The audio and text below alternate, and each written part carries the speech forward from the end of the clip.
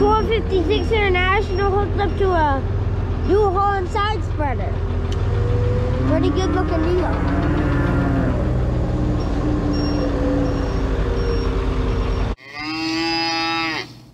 Hey everybody, welcome back to Trinity Dairy. Don't forget to like and share the video, subscribe to the channel, check out our merch store. Got a link down below in the description for that. Get some of that uh, sweet merchandise we got. Um, today we're going to be, it's nice and warm today. It's December 2nd. I think it's supposed to be about 40 degrees, so that's a heat wave for this time of the year. Um, we're going to clean out some heifer sheds. It's supposed to cool off next week, so get them cleaned out before it freezes up. Um, we're going to use this. I got this old, it's a New Holland, I don't know the model number, but I call it a chain spreader, barrel spreader, whatever. There's a lot of different, I've heard a lot of different names for it, but basically how it works, you got a drum that runs down the whole length. It's got these chains on it with the paddles on them, and then it just spins, and as it gets emptier, the chains spread out. Now this thing, it needs all new chains and paddles. It's pretty worn out. All the paddles I think that are on here are just ones that I've made out of angle iron or whatever. Actually, there's a spot in the back. I noticed there's a few of them that are missing again and even some of the chains are short because it's not quite cleaning out in the back but it uh, I paid 75 bucks for this thing probably five years ago. I don't think it had a paddle on it when I got it but it works all right for what I, I don't use it a lot um, but I like it. I'm using it now because I'm going to be hauling on a hayfield so one thing nice with this it takes a little longer to empty it without all the paddles like they're supposed to be but it breaks it up really nice so you don't have big huge clumps out in the hayfield. So uh, that's that's mainly what I what I use this for. Otherwise I use my little box spreader but anyway uh, I'm gonna get this loaded up and we'll go and see how it works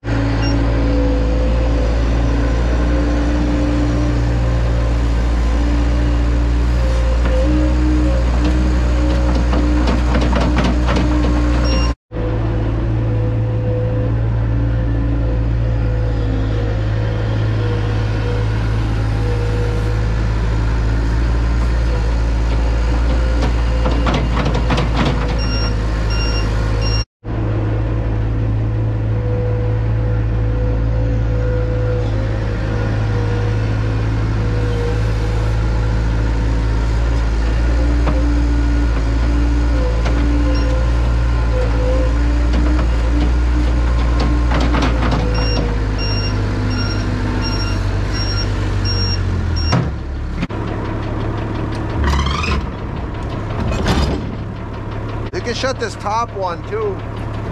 But um, this more packed manure, I like to leave it open because then I can see. Sometimes if you get a twine or something wrapped around that drum, it'll hold the chain down and it won't, it'll have a spot that won't empty. So this way from the tractor I can see. It doesn't really affect. I think if you were spreading sloppier manure, um, you'd probably want that down to what kind of direct it more, but with this stuff, it works better with it up.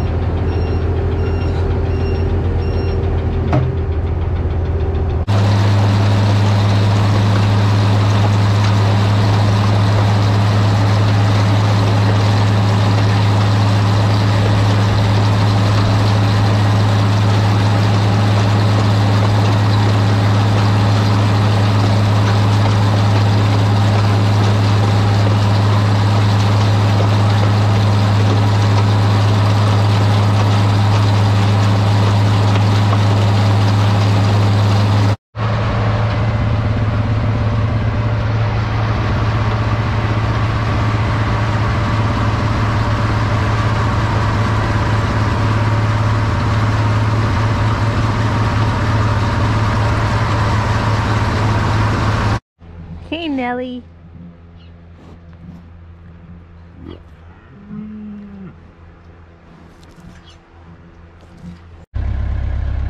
Wasn't our very first video us cleaning out this building? Yeah, I think so.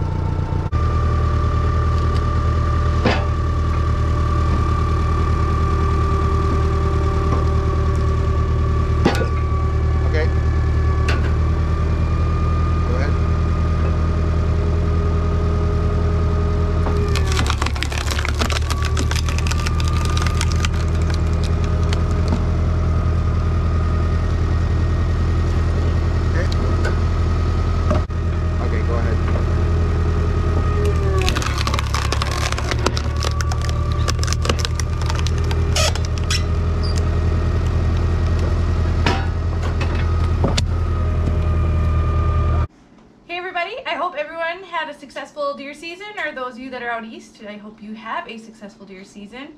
Uh, we were asked by some of our viewers how we cook some of our venison, so I'm going to share one of our recipes today.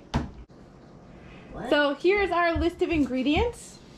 We'll have garlic powder, soy sauce, Worcestershire sauce, lots of butter, salt, pepper, and strawberry jam. It could also be substituted with grape jelly. And then we have our venison. So I will have the amounts in the video description. I will list the recipe. I will be doubling the recipe, but I will put the original one down below video description. So I'm gonna grab the venison and we'll get started. So I'm gonna add the butter and then we will stick it in the microwave to melt it. So there's all four sticks. Okay, so there's our four sticks of butter. They're pretty much all the way melted, but it doesn't matter because we'll stick everything back in the microwave one more time. So then I'll be doing two cups of strawberry jelly. Like I said, you can also use grape, it's just your preference or what you have on hand. Pause it now. Okay, here's our second cup of jelly. Like I said, I'm doubling this recipe. I will have the original one in the video description. Okay, there's that. Then the next will be the tablespoons of soy sauce and Worcestershire. So I said, I'm doubling it, so I'll need two tablespoons.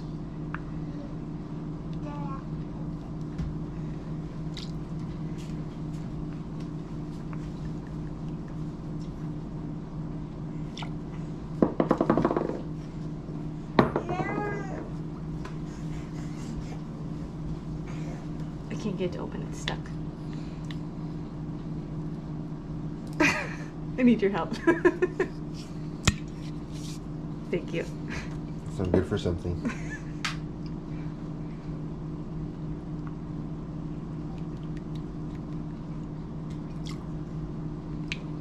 No, I splattered myself. What's this? Okay, there's those. Okay, then I'll do two teaspoons of garlic powder.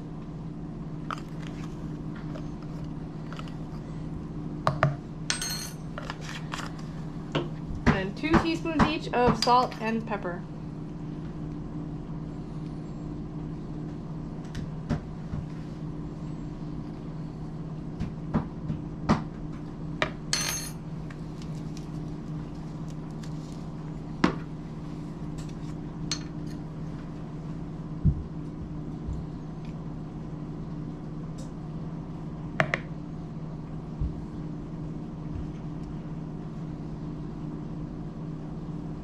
Oops.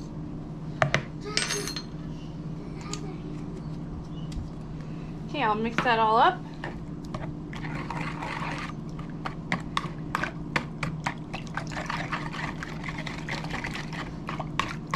I'm gonna throw it in the microwave again just to help break down some of the lumps of the strawberry jam. Okay, so it's all microwaved up again. Took about a couple minutes. So now all the pieces are a lot smaller. So the first thing I'll do with my dish is kind of put a layer of it on the bottom.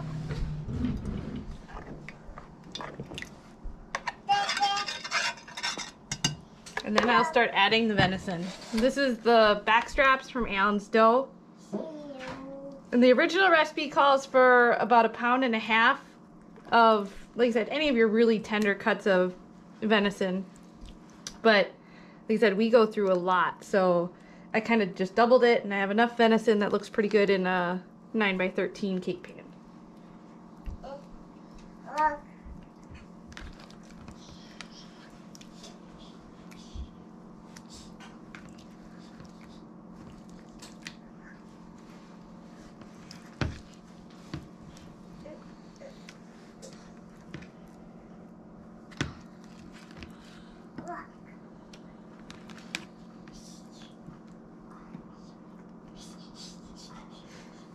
So there's about two layers worth in there, which is pretty good. Then you just take everything else and just pour it over the top.